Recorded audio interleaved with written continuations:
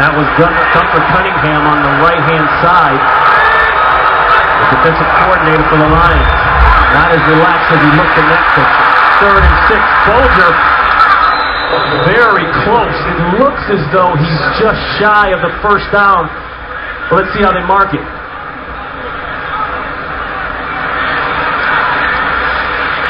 Yeah. He is shy. That's a fourth down. And that's going to bring on the punt team for the Rams. You know, Ron, I'm I'm all for quarterbacks protecting themselves and sliding, but you're an 0 17. You're one yard away. You've got to go get that first down. Marc Bulger's not the most mobile guy. Louis Delmas is coming, but go get that first down. Keep the keep the chains moving for your football team.